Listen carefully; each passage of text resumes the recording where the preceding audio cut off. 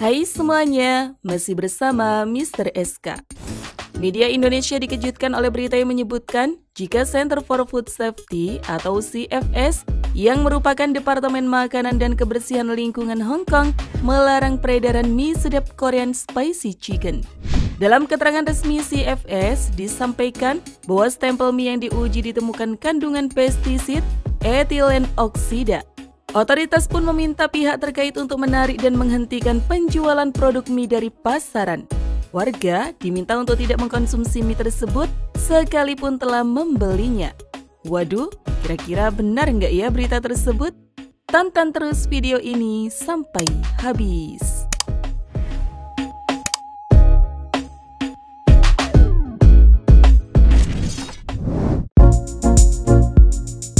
Center for Food Safety atau CFS Hong Kong telah menarik peredaran produk mie sedap rasa ayam pedas Korean Spicy Chicken dari pasaran.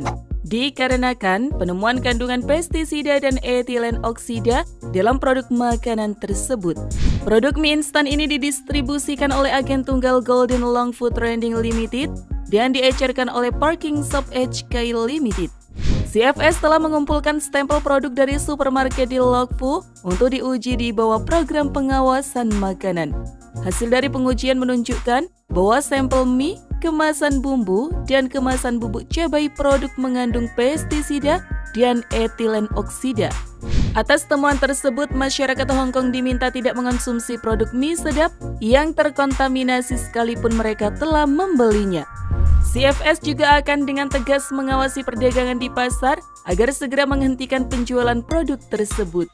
Dengan beredarnya berita tersebut, Badan Pengawas Obat dan Makanan BPOM memberikan klarifikasi mengenai penarikan produk mie instan asal Indonesia di Hong Kong.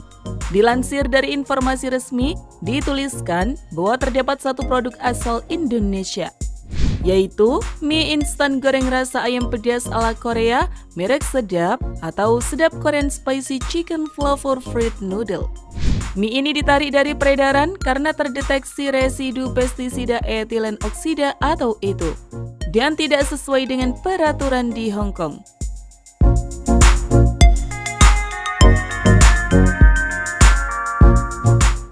Residu pestisida etilen oksida tersebut ditemukan pada mie kering, bubuk cabai, dan bumbu dari produk mie instan. BPOM menjelaskan, itu merupakan pestisida yang digunakan untuk fumigasi. Temuan residu itu dalam pangan merupakan emerging issue atau isu baru yang dimulai dengan notifikasi oleh European Union Rapid Alert System for Food and Feed pada tahun 2020. Berdasarkan penelusuran BPOM, produk mie instan yang ditarik di Hong Kong berbeda dengan produk bermerek sama yang beredar di Indonesia. Produk yang beredar di Indonesia telah memenuhi persyaratan yang ada. Lebih lanjut, untuk perlindungan kesehatan masyarakat, maka BPOM menindaklanjuti isu yang beredar dengan meminta klarifikasi dan penjelasan lebih rinci kepada Otoritas Keamanan Pangan Hong Kong mengenai hasil pengujian yang telah dilakukan.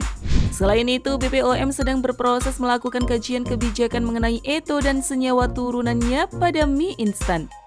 Menurut BPOM, pihaknya terus memantau perkembangan terbaru terkait peraturan dan standar keamanan pangan internasional, serta melakukan sampling dan pengujian untuk menguji tingkat kandungan senyawa tersebut pada produk dan tingkat paparannya.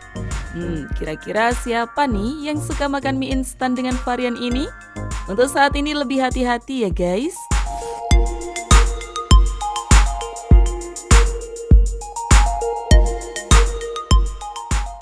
Terima kasih sudah menonton. Jangan lupa share dan sampai jumpa di video berikutnya.